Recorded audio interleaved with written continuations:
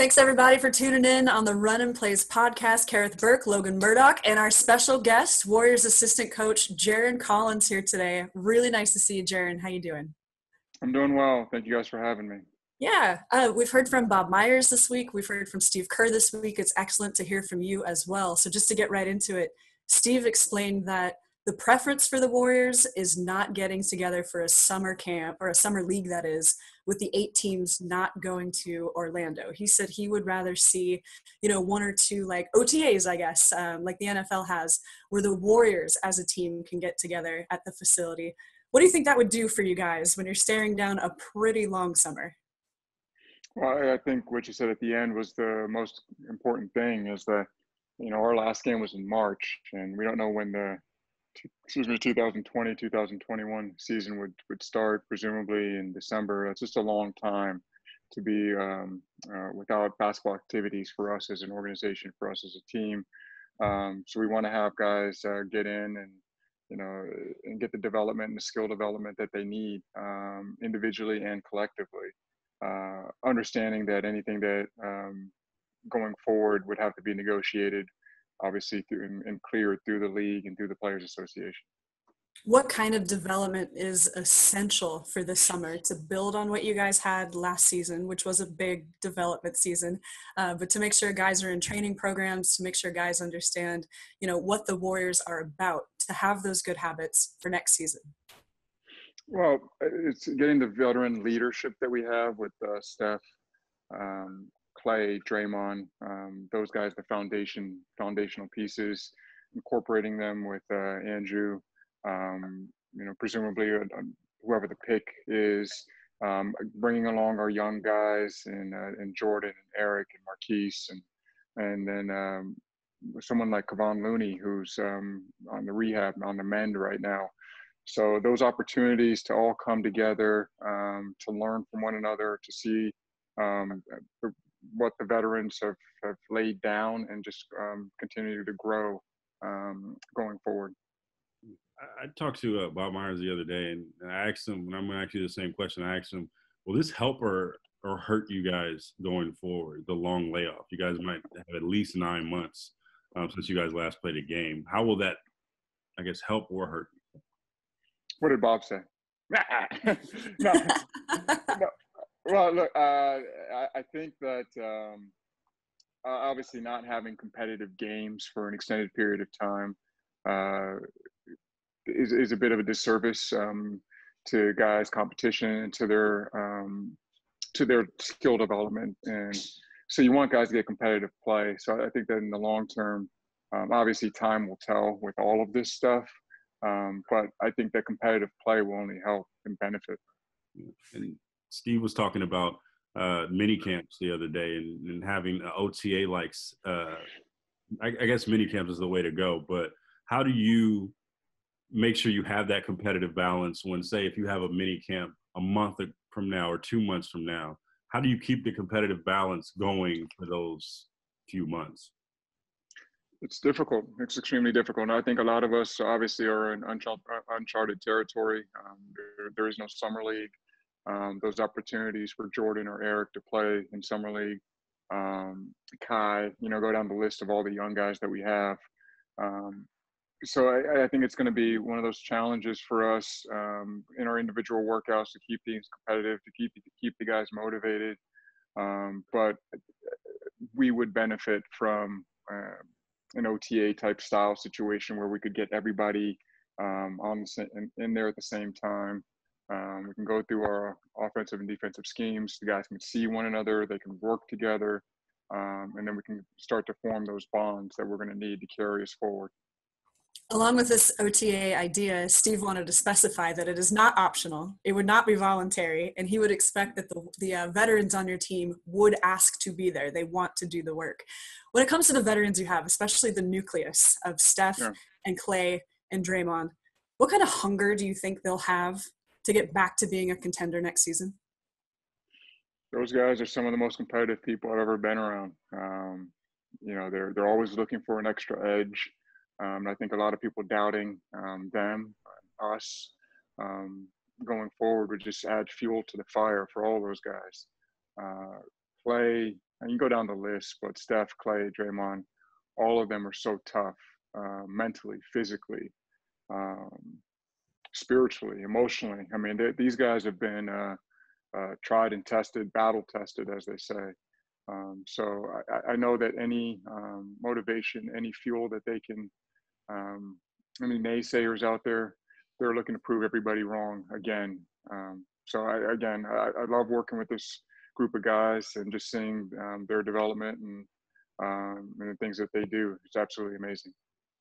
Can you, can fans or can people in this moment in time even appreciate what that trio is, the talent this roster has with Steph Klay and Draymond? Their homegrown talent, they have contributed to a dynasty. Where do you think these three will fit in like NBA history? The long view. uh, yeah. You know, um, Hall of Famers. Yeah, start with that. So um, I, I, think that all of them are on that path um, to be in the Hall of Fame, which says a lot. Uh, again, like I like I said, some the most competitive people I've ever been around. have Been around John Stockton, Karl Malone, Steve Nash, um, my brother, uh, and I've known a lot of guys in this league, and they're right up there as far as just downright nasty competitiveness. Um, um, and again, their talent, um, their success, the hard work that they've put in, um, that trio uh, will go down as arguably one of the best trios um, in basketball. And uh, you know, their their story is still um, to be told. I, I, think one of my favorite games in this run uh, was the 2019 uh, Game Six against Houston, and that was when uh, in 2019 when uh, yeah when Kevin the, the game after Kevin got hurt and you saw those three guys kind of put the team on their back. What do you remember about that game and why does why does Steve Kerr call that his favorite game of all time? Uh, obviously, being uh, shorthanded anytime you were going into a game without someone um, of the talents of a Kevin Durant, um, our team wasn't um, at 100%. Um, and if you look at that first half, if I'm remembering back correctly, a lot of basketball games, but I believe Steph maybe had zero points or three points in the first half. Yeah, I know that he, he didn't score that many points in the first half, but then he exploded in the second half. Um, and you look at how um, they did it. Um, it was the pick and roll with Draymond and Steph. It was the bread and butter and the spacing and then guys making the right play out of the pick and roll and out of the um, advantage situation. So it was hitting Draymond in the pocket and doing what he does best, playmaking. Uh, it was shot making by Steph and Klay, um, especially in that fourth quarter. And um, a little special shout out to Jacob Rubin for hooking Steph up with the the, the, the shoes that he wore in that game. Um, which were an ode to his uh, first MVP season, if I'm not mistaken. But shout out Jacob Rubin. And, and building off of that, we know that we know that uh, that's Steve's favorite uh, game of the of the run. What is your favorite game of this run? My favorite game. Uh, my favorite game. I couldn't even remember what uh, it was against Portland, and it was the closeout where we swept them. I couldn't even remember what year, but it was the first quarter of um, when we when we swept Portland. I can't remember what year, but it was shock and awe. We we I mean it was it was everybody rolling. Uh, Steph, I think we scored forty some odd points. Um, was that the year um, Kevin's first year? in Golden State? It might, it might have been. It might have been 2017, I believe so, but don't hold me to that. Um, but anyway, it was in Portland, and it was the closeout game, and you know, the, it, it, was absolutely awesome, and it was, and, and I'm telling you, like we were rolling on on all cylinders. It was uh, JaVale coming off the bench and catching a one-handed dunk um, Andre and Pat McCaw jumping on the bench. Andre didn't even want to check in because it was like, you know, just classic Andre. I'm not even going to go in, you know, sort of thing where and I think we scored 40 some odd points, and it was just just complete shock and awe dominance. And the best part about that game, why I love it so much, was Mistah F.A.B. was sitting behind our bench, and he was like, "This is for Corey Maggette. This is for the Corey Maggette years. This is," for... but he was talking so crazy, and he was behind our bench, and he was standing up, and he had the the, the Warriors jersey on. That was that that that game was complete dominance um, by a, a, team that was locked in. Um, so that, that, that was uh, that was fun to be a part of that. Regarding the protests and all of the people who have come out, um, what did you notice about speaking out and being met with some resistance um, when your brother Jason came out as the first openly gay man in the NBA? Did you kind of get a, a taste of of what this would be like fighting for rights? You know, did you get a, a picture of that um, based on your brother's experience? Um, I, I think that what's important is that the more conversations we have about, you know, we're talking about different subject matter, but the more conversations we have, um, whether we're, we're, talking about my brother or we're talking about the um, Black, Black Lives Matter, um, is that we get more education, uh, more conversation, and more dialogue between people to make them aware of different situations and that we move the needle as a society going forward. And um, I think that that's something that helped prepare me in that there were conversations that need to be had. Um, people needed to step up and give support uh, for one another and, and deal with empathy and looking through another person's eyes. So for me, I can't be uh, more proud of the NBA and the NBA community, um, the way that um, our players are, are rallying people um, organizing, um, uh, whether it be protests or speaking engagements to help educate people um, on what it is to be a black man or black or person of color um, in our society.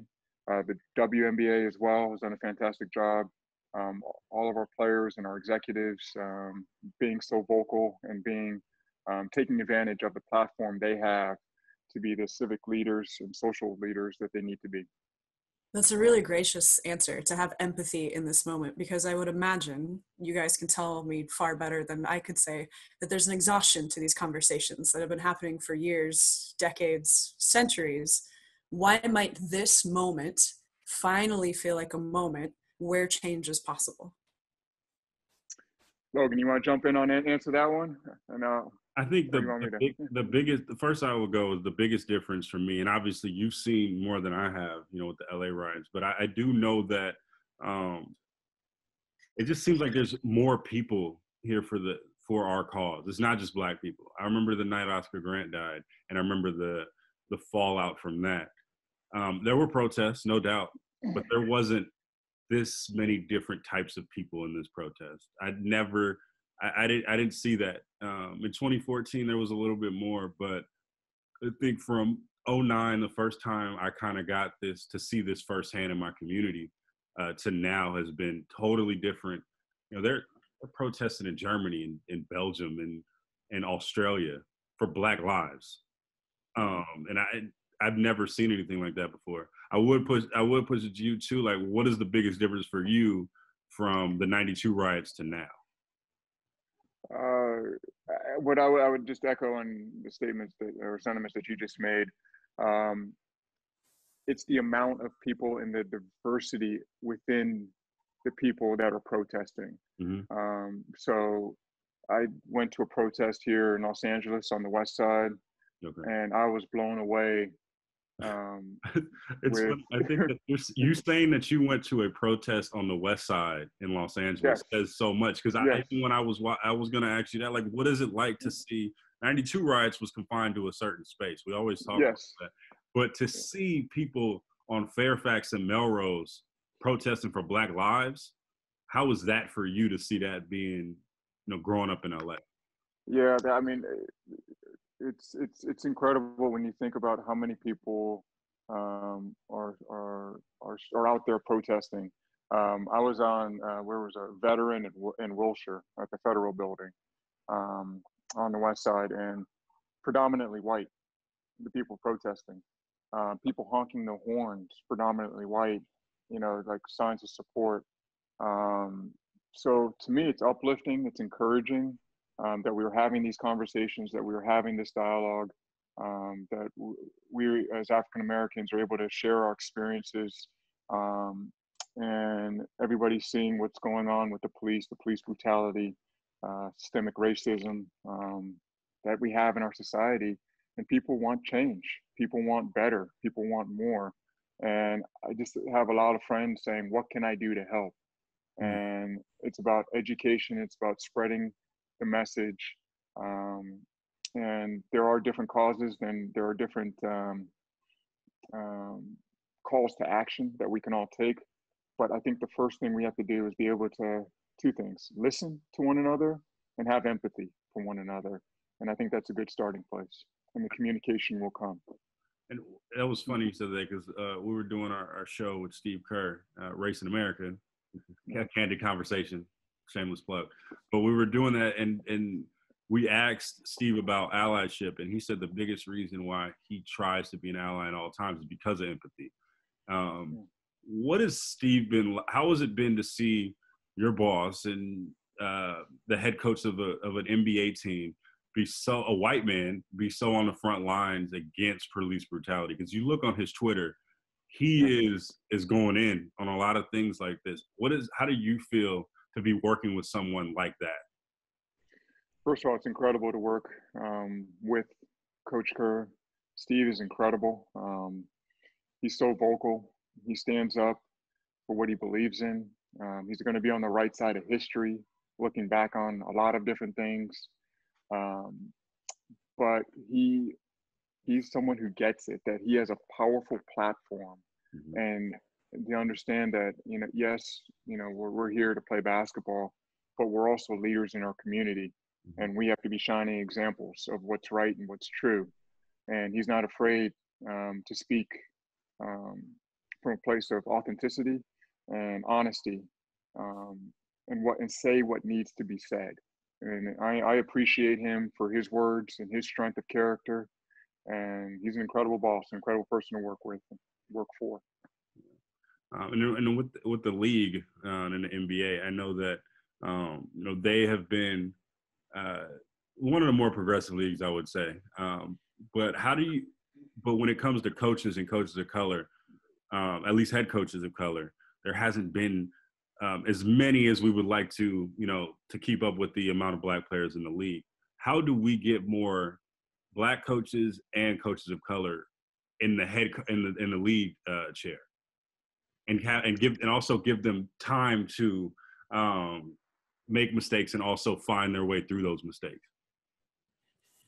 Well, I think that um, success obviously is uh, something that will allow people to get more opportunities. Um, so it's it's not easy. First of all, I, mean the first the first part of it is it's not easy. Mm-hmm. So to get an opportunity, there are only 30 jobs, obviously 30 head coaching jobs. Um, to be in the discussions, to have your name mentioned, um, is important. But what we what we need is support. We need support, like you're mentioning, for uh, development uh, for persons of color um, once they get into those positions. Um, but obviously, you know, winning helps with everything. Uh, so hopefully, given those opportunities, you see the development as um, from from a coaching perspective. You see the development of the players under the said coach, and then you see hopefully you get the opportunity to grow and to develop um, uh, for the future because um, there are more opportunities hopefully there will be more opportunities for people of color to be head coaches. Um, but uh, a lot of it comes down to um, success. How successful are you when you get those opportunities?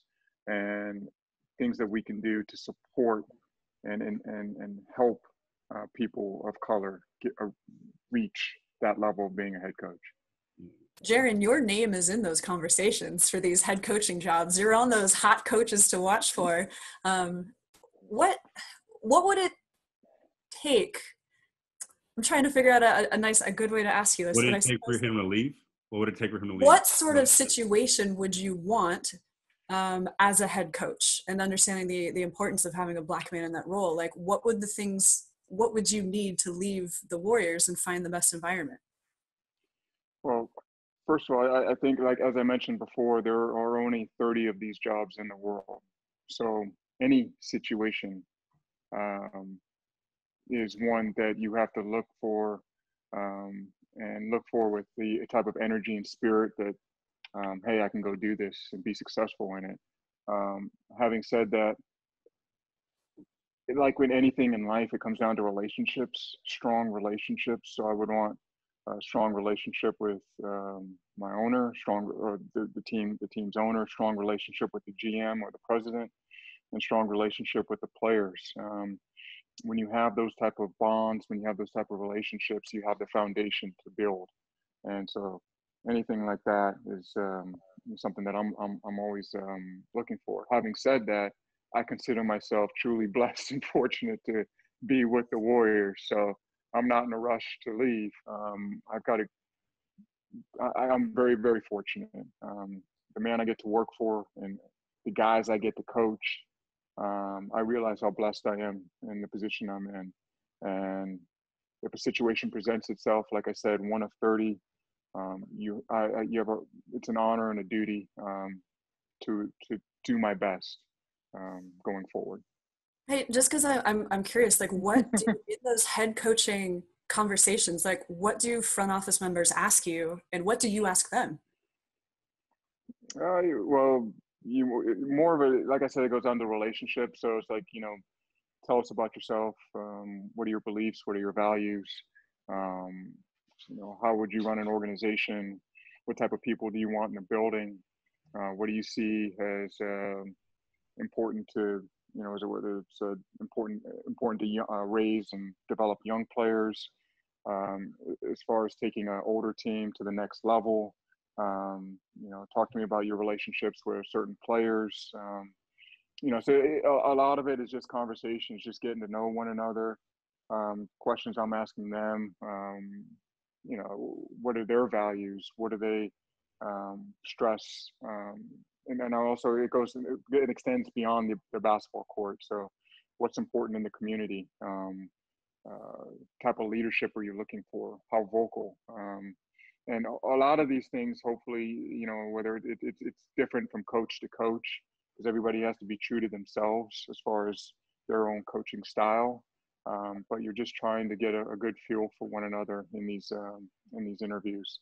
And then of course you're talking um, schemes, offensive, defensive schemes, up tempo, slow it down. You're gonna uh, you're gonna trap. Um, you're gonna play zone. You know, just what you know, uh, ATOs. What are your what are your adjustments? What are your plays? You know, just you know, what's your basketball basketball acumen? What's your basketball IQ? Um, so uh, those conversations usually last a long time, but it's really the uh, getting to know the feeling out process. Um, uh, when you when you go through that. And so I, I think that um, you know coaching, and I do want to talk about uh, the uh, or the new the new news about guys going to Orlando. How would you coach through that? How would you, if you were a head coach, how would you coach through? You know, you might not see your family for at least a month or two. How do you make sure guys are engaged if you were the head coach? How do you do that during this wild time? That, that's it's a good question. That's extremely difficult. Um, you know, I, I, think a lot of people are going to be going through this. you know, like I said, it, it's it's a new world, mm-hmm. um, and it's and it's extremely difficult to be away from your your family for an extended period of time. Um, all of us have gotten used to now Zoom and Ring and uh, teleconferencing, um, FaceTiming. I'd imagine a lot of that uh, would be taking place excuse me. Um, but I, I, honestly, I, I there, there's a lot of gray area. There's a lot of unknown as far as moving forward um, uh, to making sure that your players are connected to their families um, and, and allowing for that um, uh, the, the whole the holistic approach is to not just the, the you know the, the personal performance, but mm-hmm. how do they um, you know function as, as a human being in going forward in society. Um, and so for in the NBA returning to Orlando in the bubble, I know the players want to have their families, and I think the logistics of that will be worked out. Um, but I think it is uh, something to be recognized that it's going to be difficult. It's going to be challenging for players, coaches, referees, everybody who's going in that bubble um, going forward. But I know that the coaches will do their best to make sure that everybody's connected with their families and um, uh, and, and, doing what they can to to maintain the closeness and the bond that they have to help them as a as a holistic person. Do you feel like the league this season owed it to the players to find the healthiest situation to crown a champion this season?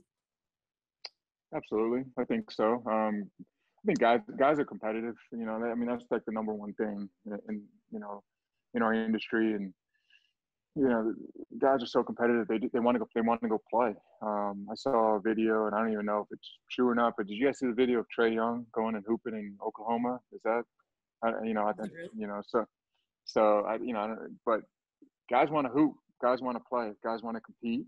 Um, but uh, like you said, guys want to, you know, the, I think the league wanted to be as, as safe as possible, whatever that means, you know, um, going forward in, in, in, our new reality. Um, this is, this is our world that we live in now.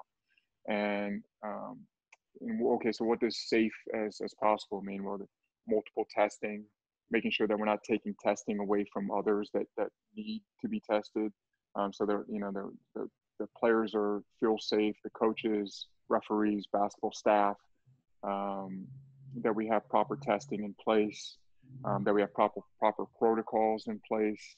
Um, you know that all the logistics are worked out so that it is as safe as possible going forward, um, so that people can have some level of comfort, understanding that this is the, the situation going forward, and that we've done taken every precaution that we can uh, to um, you know to, to to play basketball and compete for a championship in as safe as environment as possible.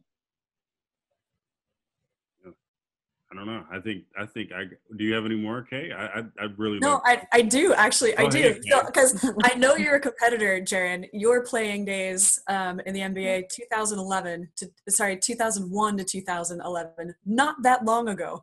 But I am kind of curious. Could you play today? Like, would your game has the NBA changed? So You'd be a stretch four. That's what I'm saying. Like, in what ways would you ball First of all, I'm a stretch five. I don't know if you okay. guys, you guys have, you guys have been to the gym early, especially over at Oracle. You guys have seen my, seen my my my my, my corner threes. Jarron, yeah. you put a point to show us. You say, "Hey, look I, at me," and you shoot the shot. We we. It's not that. Oh, I don't know if you guys are there. We see you do this. We see like, you. hey, look, look at this so so so what I'm saying is, um, I, have expanded my game, and um, I saw the viral the viral video of uh, Big Perk um, doing the ball handling. The handles, yeah. Uh, uh, the handling, and I'm about to put my own video out. I saw the Shammgod. I can view it. He only did it right to left. I can do it left to right and right to you know, Wow. So all, all, I'm saying is, you know, my, my game has grown immensely. Are you leading the uh, break, Jarron? Are you are you are yeah. you center right now? No, no, no, no, no, no. See, I'm a half court player, so this okay. is what happens. Okay, so, no, no, no, no, no. You know, I'm gonna you, I get you get to pick a side because you know transition is in my game. So I'll be on offense or defense, but uh, usually if I can stay on offense, just put me in the corner. Uh, I'm I'm good to go. Um, but no, I, you know the, the game has definitely changed um, a lot. There's a lot more skill involved now. Um, multiple positions. Obviously, you got to be able to defend multiple positions. Um, the game has definitely changed. But having said that, um, my game has changed as well. So, oh. you know, I'm, I'm, I'm, more like I'm more I'm more like my guy Channing Frye nowadays. Just put me Ooh. in the corner. Yeah, hey. What if what if what if you had what if you had the jumper? If you developed the jumper in like yeah. 05, like 06. Scary. Scary. I'm not gonna lie to you. Scary. who when you when you were in the league and you had to defend somebody like who was the player who gave you the most fits who was the matchup that you were like oh this guy okay all of them uh, talk about Shaq. Uh, I mean, talk about Shaq. uh, Shaq. Uh, you see that wall behind me? Try mm-hmm. to move that wall. Uh, so you know, people always okay. Who's the hardest person to play against? Who's the hardest guy to defend? Uh, automatically jump into my mind um, Shaq and Tim Duncan uh, for two different reasons. Shaq was just a his physical strength was incredible, and my brother and I used to defend him, and you know we'd talk about okay strategy and trying to defend Shaq, and we would flop. Quite frankly, we would try to draw offensive fouls and try to you know try to get him out of the game that way. And Shaq knew that my brother and I would flop against us. So the, his very first post move and his very first foul that he would go against us, he would get his money's worth. So he would go, so if he would be on the right block. He'd take two hard dribbles to the middle and then drop step back to the baseline. But when he would drop step, he'd put all 350, however much, 340, whatever it was, into this right arm and just take this whole thing and just try to and just try to you know put me to sleep right there. And um, so just just physical strength, I would definitely say Shaq, and then just skill. Um, and probably one of the nicest guys is, is Tim Duncan, but just man, that guy is just so skillful, just so so skilled as a basketball player. Um, he, you try to take away players' A moves, you try to take away their counters, you try to take away their B moves. And then when a guy goes to the C move and he's still killing you, it's just like, all right, man, I need some help. when, when's the double coming? uh, so uh, t- Timmy for sure. Uh, you know, guys against played against Chris Webber, Rasheed Wallace, Kevin Garnett. Um, you know, every night, Elton Brand. You know, you just go down the list of guys every night. Man, it was. I mean, guys are talented in this league one, I want to acknowledge the fact that you are the first person that I have seen on record admit to flopping. I just want to say, I don't know if you get a get a medal or something for that. Yes. Like I, I, I commend you for that. So, Second, hey, for, for, go ahead. Um, what is going through your mind like the night before you get to LA? The night before you guys are playing the Lakers and Shaq is is is is you know you're guarding Shaq and what's what's the uh, mindset when you're in San Antonio the night before you're about to play Tim? To me, like like I said um, at the beginning, that I'm so competitive. I loved it. It, it, was, it was my dream to play in the NBA. So I I, I loved it. I, I loved the challenge of playing in Shaq. I'm like, okay, I got to run him. I gotta I gotta I gotta get up and down the floor. I gotta try and get him tired. I gotta on on on defense. I gotta try to meet him early, hit him first, so that when he tries to reestablish position, I'm ready to fall. I'm ready to I'm ready to try I'm ready to try and pick up a foul. Yeah. Um, so uh, you, you, you, know I, I think there are situations where you know I'm trying to I'm trying to play the mind game. Okay, what can I do to be successful against these guys? Um, you know, going into each game, and I, like I said, I, I, I lived a dream for 10 years playing against the best athletes, the best guys in the world, and I, I look forward to it. I look forward to those those opportunities to compete against the against the best. Does Does Tim Duncan talk trash? No, no, no. I know Shaq does. Are you lying right now? Does he ever say anything? No, he'll, he'll say like, "Hey, that was a good move," or something like just something like, "Oh, oh that, that was good." Like, you know, just something like real. Subtle. He would say, "Look, so after he hits a jumper, he'd be like, that was a good move." He'll tell himself that was a good move. No, no, no, no, just like uh, he, he, he really didn't say anything. Shaq would talk. Um, you know, certain guys, Rasheed Wallace, Kevin, uh, Kevin Garnett, those guys would ab- absolutely talk. Um, you know, there are a lot of guys who, who were um, very vocal out there. Um, but uh, you know that, that wasn't my game. I wasn't the guy going to go out there. I'm not trying the guy that is trying to add uh, gasoline to the fire. I'm not that guy. So, uh, so I, I, remember one time uh, Danny Fortson got so mad at me. Uh, he was, you know, former Warrior player, mm-hmm. and and I was flopping and drawing fouls against him, and you know, setting setting screens, and you know, just being physical. And anyway, just playing my game out there. And one of the things I used to do to try to get underneath guys' skin, if I knew that they if they were you know trying to talk stuff or whatever, I, I would try to be extra nice, and then that would make them even angrier. So, um, you know, Danny Fortson. I remember one time like uh, he, he he probably not even remember this, but we were playing in Utah, and he was saying something, and I said, and it was, it was like right around the holidays, and I said oh man, it's around around the holidays. You got your family in town? Everybody good? Is everything good? Your family? like, I'm just trying to be like super duper nice. Like, oh man, just can't wait to you know get. Him. And then he, and he said some choice words to me. You know, like I can't even repeat them. And I just said, Danny, I'm sorry, it's just my game. like I can't, I can't, I can't.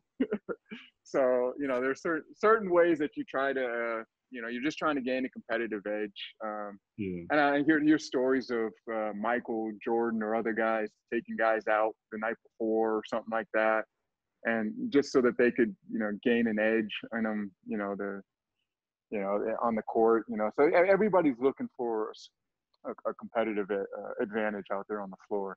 I was not blessed with the uh, gift of gab that uh, Draymond possesses. Um, Talk about your gift of gab, please.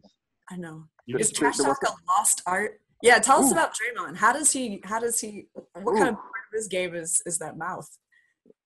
man, he, he, he's cut from a different cloth, as they say. and he Uh, doesn't turn it uh, off. Nah, nah, nah. It's no, nah. There, there's uh, there, there's only one speed, and uh, and I, and it was so funny. It was one time. Um, I remember I think we were playing Sacramento, and and it was because Kevin, Kevin Durant, and Demarcus, those and, and Draymond. So it was the three of them, and they were getting on uh, some young fella from uh, Sacramento. Man, I felt bad for the young. I felt bad for that young man. Is he still in the league? Uh, he is not. He is not. And uh, anyway, that, man, th- th- those guys, they, you know, so the s- situation can come up where um, you got to be able to, um, you know, so you know, you let your game talk or or both, or you let, let your game and your mouth talk. So you know, Who's some guys have, have the ability to do both. Who's the most underrated trash talker on the Warriors? I, I my money, I think, is on Steph. Could be Klay, but my money's on Steph for the most underrated trash talker. I, you know, I don't hear a lot what's being said out there on the floor anymore. Um, you know, I'm, I'm close, but I'm not out there with those guys. Um, I can hear Draymond. I can hear everybody. We can hear Draymond from way up Everybody there. can hear. Everybody can hear Draymond. But uh, I don't. I couldn't tell you who the most like underrated trash trash talker is. Um, I, I don't know. I'd probably say Klay. Um, but I don't know. Klay, okay, is Klay's style? Because to us, it doesn't look like he says a lot, but when he does, is it like, bah, got you, knockout punch? uh, I you know again I, I I can't speak. I'm not out there on the on the floor with those guys. I can't I can't say it, but I, I, do I do see him moving his moving the lips. Uh, so uh, occasionally, but um, you know, but he, he but the, the the best thing about Klay, and this is just because he's all heart. You know, he he just he just he lets his game talk. I mean, his his game, he's doesn't really nothing really seems to faze him. He's just right out there, just letting his game talk on both ends of the floor, getting after it. And like I said, it, like it, it, it, it's an honor and it's really privilege to coach these guys and work with these guys. One more thing about talk, if that's okay, because when these games happen in Orlando, there's not going to be fans in the stands. So there's going to be microphones picking up a lot more things that would ordinarily be covered by some sound. What do you think that's going to be like for guys where, where talk is part of their game? And now everything's out there in the open. Everybody can hear it. I don't know. Some guys need to work on their material the night before. I guess I don't. I don't know. Do we need a Uh, paywall? Yeah. I yeah, I don't know. I don't know. I don't know about any of that. Um, I, I think it, it'll be. Um, I think it, it has the potential to be very enlightening um, for for fans and uh, for you know people to to to actually hear what's being said. Um, it was one of those situations that we played a game in Madison Square Garden. Um, this was maybe two years ago. I can't remember, but for the first half, there was no there was no ambient noise. There was no like you know they play the announce the, the, the you know a soundtrack no no pumped in crowd noise. There was nothing. There was and you could you could it was it was one it was weird. It, it was a weird game to participate in because you- could hear every single thing that was being said on the court. Um and it was just weird not to have that that energy um from from the, the noise being pumped in or even soundtrack or music or anything. Um so I, I- I think it'll be uh, an adjustment period for the players. But like, like I said, guys want to play. Guys are competitive. They want to go out there and compete. Um, and I think it'll be great to see once once uh, basketball's back up and running. If you're going to watch as a fan, do you have a pick for the championship this year? if I'm gonna watch, of course. yeah, yeah, yeah. yeah, But um, I, I, I don't have a pick. Um, I have a lot of friends in the um, coaching profession, and I like to see them um, achieve success. Um, so you know, I don't, I don't, I don't have a, a horse in the race, as they say. Um, but I, am a fan of basketball and, and of good basketball, and I want to see execution, and I want to see um, the emotion, the energy, the passion back out there on the floor, as we all do. Uh, so I'm gonna, I'm, I'm, I'm, I'm excited, and I'm looking forward to basketball being back. So your pick is someone, a team other than the Warriors, is basically your pick, right? yes, by default, yes. What, yes. what is that like though? Because I mean, I've been on the beat. It's my third year. All I'm used to is seeing the, you know, the Warriors being in the playoffs and going to the finals. What is it like now? You're saying the this year the Warriors, they're not they're not in the playoffs. The Warriors are not going to join the play the postseason. What is the, when you hear that? And I know how the season has been. You know, I know yeah. everything that's going on. But to hear that sentence, how does that make you feel? when I hear that, there then I the only thing that's coming to mind is there's work to be done, mm-hmm. and we got a lot of work to be done. So we got to get back at it, and the sooner the better. We talked about a lot. Logan, is there any other topic you want to touch on? I'm just happy to see Jarron, man. I haven't seen Me him. Me too. Me too. I, I missed your halftime it. chats walking down the hallway. It's really good to hear your voice and to uh, and to know yeah, you're doing well. I appreciate it. Good to good to see you guys as well and hear your voices. And I appreciate you guys having me on. And I don't know if the 360s are coming back. I'm, I'm growing it out a little bit. Logan, you got the hair going, That's bro. Oh, there's no 360 here, my man. There's nothing hey, going on right now, bro. Hey, man, they open them shops back up, brother. Go get you know, oh, it's sometimes. Uh, uh, all right. Thank you, Jarron. well, I appreciate it. Thank you guys for having me on. All right. Take care. See you guys.